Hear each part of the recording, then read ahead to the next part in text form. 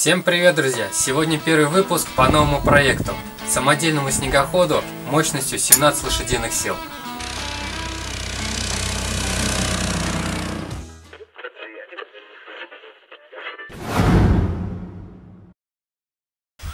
Итак, для начала давайте разберемся, что мы будем строить. Это будет простой, быстрый и легкий снегоход, собранный на узкой, но длинной гусенице. А самое главное, он будет недорогим, так как все основные узлы и агрегаты на него можно купить за очень небольшие деньги. Начнем с двигателя. Это китайский двигатель Lifan. Я не буду вам рассказывать такие подробности, как крутящий момент, максимальные обороты, уровень шума и прочее. Все есть в интернете.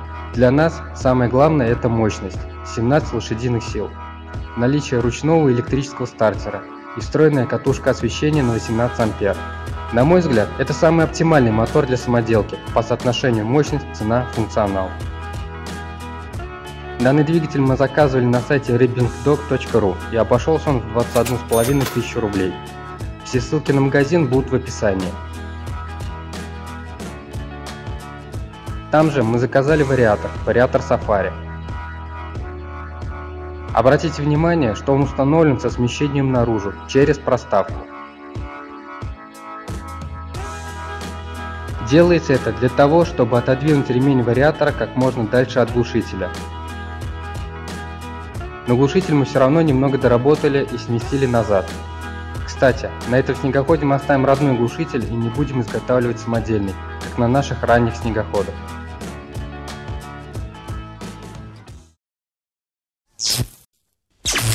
Теперь о гусенице. Рассматривая всевозможные варианты, наш выбор пал на данную гусеницу производства завода «Композит», город Курск. Полярник 64 шага. Размеры. Длина 3232 мм, ширина 380 мм. Высота грунтозацепа 23 мм. Немного больше, чем на гусянках буксировщик и буксировщик лонг, который мы использовали на ранних снегоходах. Шаг 50,5 мм. Стоит отметить, что бурановский шаг упрощает поиск звездочек, катков и валов. Все есть в продаже. Данная гусеница идет как тюнинг снегоходов Буран и Стелс Ермак. Заказывали мы ее в Курске, в магазине Снегоход Сервис. Все ссылки будут в описании.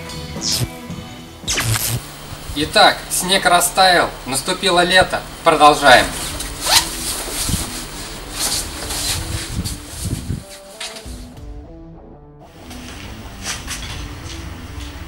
Рама абсолютно новой конструкции. В основании, как и на вепре, прямоугольная труба 20 на 30.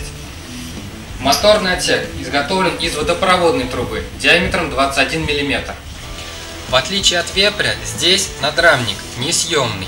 На нем уже приварены крепления рулевой колонки, крепление рычагов передней подвески и площадка крепления двигателя.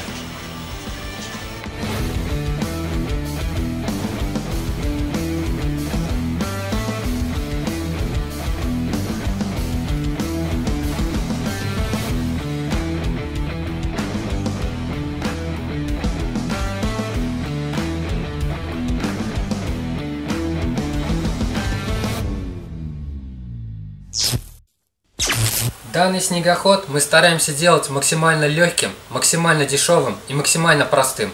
Впереди еще очень много работы. Ставьте лайки, пишите комментарии. Всем пока!